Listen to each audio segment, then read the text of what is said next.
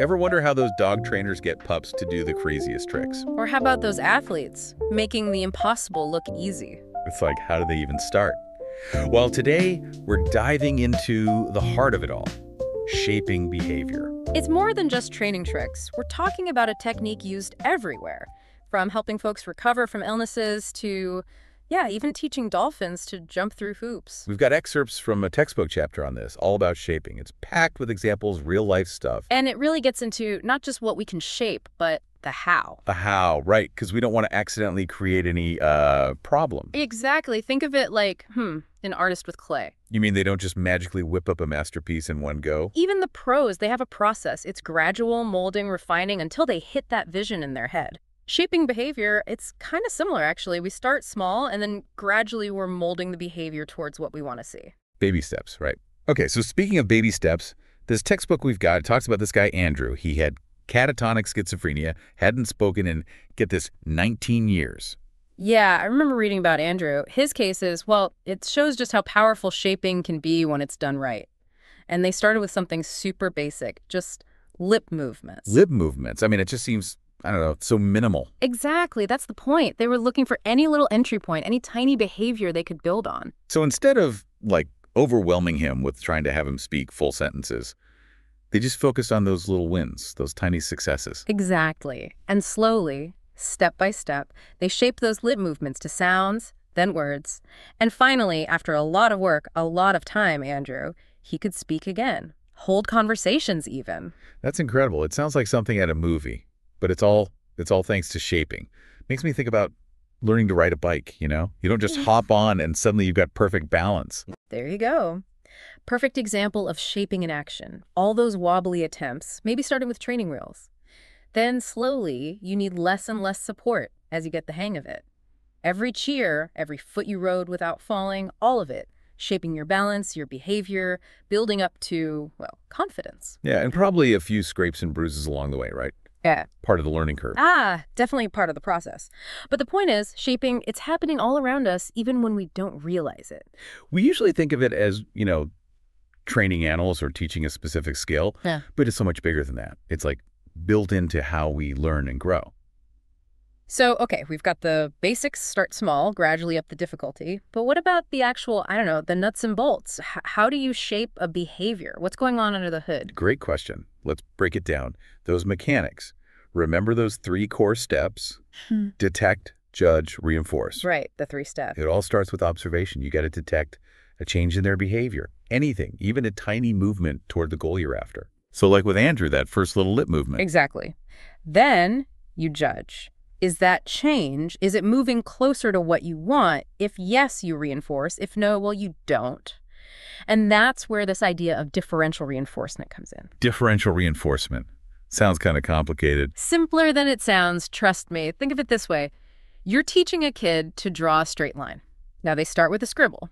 Then maybe it's a little straighter. And then eventually, boom, nice straight line. You wouldn't give them a gold star for every scribble, right? Right. You'd save the praise for the, well, the better attempts. You got it. You're differentially reinforcing the behaviors that get closer to what you want. And we call those gradual steps toward the target. Those are the successive approximations. Okay. Successive approximations. I see why you said those terms sound fancier than they are. It's like climbing a ladder, one rung at a time. You reinforce those small steps, those successive approximations, till you get to the top, the behavior you wanted. Exactly. And just like with a ladder, Gotta go at their pace. You can't force someone to skip rungs. Just leads to frustration or even, you know, could be risky. And that brings up something important. Shaping. Like any tool, it can be misused. It's true, you gotta be careful, mindful. Like, remember that old saying, with great power? Comes great responsibility. Here you go. And shaping, when you really think about it, it's powerful stuff. We've been talking about it for, you know, skills, good behavior, that sort of thing. But it pops up everywhere. Okay, so shaping superpowers, check. But where else are we seeing this in action? Hit me with more of those real-world examples. All right, how about this? Medical recovery. This textbook, it talks about how respiratory therapists, they use shaping to help patients who've had, say, pneumonia, getting that lung capacity back. Okay, so from training dogs to, what, treating illnesses? How does that even work? Think about it. Someone struggling to breathe deeply, right? Recovering from an illness that's rough, discouraging even. That's where shaping swoops in. Instead of just saying, okay, take a deep breath, which is, you know, a lot to ask, they break it down. Baby steps. So instead of a marathon, we're talking a gentle walk around the block first. But how do you even, I don't know, measure progress with breathing? They use a spirometer. It's this device measures lung capacity. Each breath, the patient sees how they're doing, which can be motivating in itself. Mm. So the therapist, they set these small, doable goals. Every little improvement, it's praised, celebrated. Like that aha moment when you finally tie your shoes, little wins add up. You got it. And as those mini milestones pile up, the therapist, they raise the bar a bit, always adjusting, always making sure it's challenging, but crucially, still doable.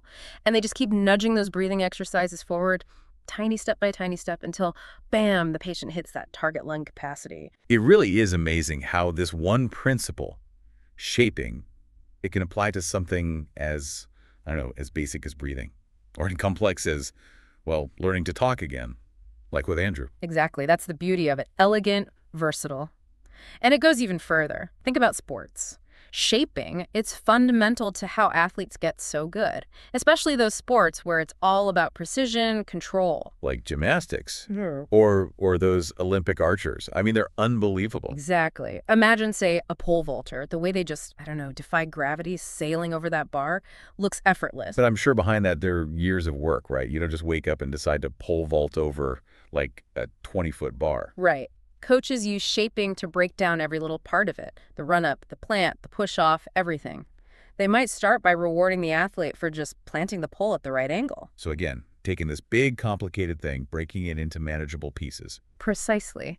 And then slowly, steadily, they make it a bit harder, shaping each little part of that jump, always building on those successes until, well, until it's ready for competition. It's like they're sculpting a perfect jump bit by bit. There you go. And, you know, this brings us back to animal training, something you mentioned earlier. Shaping is huge there, especially in what's called clicker training. Clicker training, right, with that little clicker thing. I've always wondered, how does that even work? Like a magic remote control for animals or something? Huh. Not magic, but I get what you mean. The clicker, it's just a sound, but it means something good's coming. A treat, praise, you know, something the animal likes. So they learn. Click equals good job, you did the thing, here's your reward. So it's like a Yeah. signal, right? Telling them they're on the right track. Exactly. And because it's this clear, consistent sound, it's really good at marking the exact moment of the behavior, that tiny step towards, well, towards whatever the big goal is. And just like the other examples, they use the clicker to shape behavior, click and treat, click and treat. It's amazing what we can learn from training animals, isn't it? Makes you realize the principles of learning, shaping behavior, they're kind of universal. We've talked about dogs, we've talked about athletes, even, what was it, rats learning to sniff out landmines. But are there places where shaping just, I don't know, doesn't work, where it falls apart? That's a good question. It's easy to think, oh, shaping, it's the answer to everything. But not really. Like any tool, it has its limits. So no magic wand, huh? When would it be the wrong tool for the job? Well, for one, shaping can take time, especially if the behavior is complicated. takes patience, observation, and being okay with changing things up if you need to. So no quick fixes then. Exactly. It's Right. all about those small steps, right? Yeah. Building up to it. And that takes time, consistency. Try to rush it, set unrealistic goals, it just backfires. Can't force a flower to bloom faster by yelling at it. Right. Got to create the right environment. Be patient. Love that analogy. And speaking of patience, shaping, it really needs you to pay attention. Got to spot those little changes, the tiny improvements, and know when to reinforce them. Yeah. Easier said than done sometimes, Yeah. especially with like a hyper puppy or a toddler who's decided the walls are their canvas. You got that right. Takes practice, knowing what makes them tick. And even when you've got the best intentions or paying attention, there's still the risk of, well, messing it up. Messing it up, you mean like accidentally shaping the wrong behavior? Yep. Like we talked about earlier, the parent who accidentally ends up reinforcing their kid's whining happens more often than you'd think, especially when we're stressed. So it's not just knowing the steps, it's about being smart about it, Mhm. right? Being aware of how we're using it in real life, Yeah. the good and the bad that can come from it. Absolutely. It's, they say, the road to, uh, well, you know the saying. You can start out trying to shape something good, but if you're not careful, you might accidentally end up reinforcing something you don't want. Right. It can backfire if you're not careful. So it's bigger than just training dogs or whatever. It's a force that's always there, shaping how we interact, how our relationships work, without us even realizing it. Exactly. Every interaction, every reaction, every choice, it all feeds back into the system, shapes how those around us behave. A constant back and forth. Wow. When you put it like that, it's a lot of responsibility, isn't it? Not just our own behavior, but how we might be shaping others. We all play a part, and it all comes back to awareness, right? Once you get these principles of shaping, you start seeing them everywhere. How a teacher motivates their students, a coach pushes their athletes, even how we talk to our pets. It's shaping, whether we're aware of it or not. It's like you've given me a whole new way of seeing things. I'm going to be spotting shaping everywhere now.